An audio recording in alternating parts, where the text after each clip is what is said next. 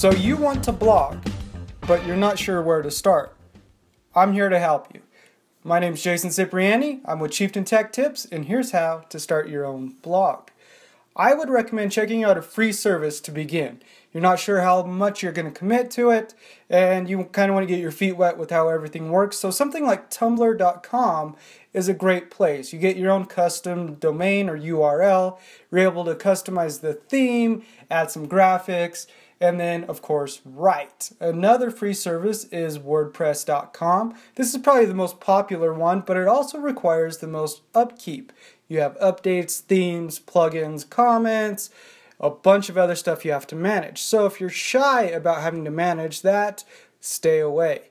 Medium.com is my last recommendation, and this is a place where if you just want to write and nothing else, this is where you need to go.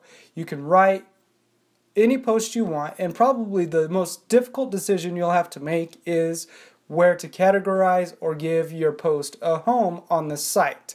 Again, you're given your own custom domain name. You will need a Twitter account to sign up, but you can write as much or as little as you like. These are some great starting points for those who want to begin blogging but aren't sure where to go and don't want to spend a lot of money getting started. Once again, I'm Jason Cipriani with Chieftain Tech Tips. Join us every week in Tech Thursday.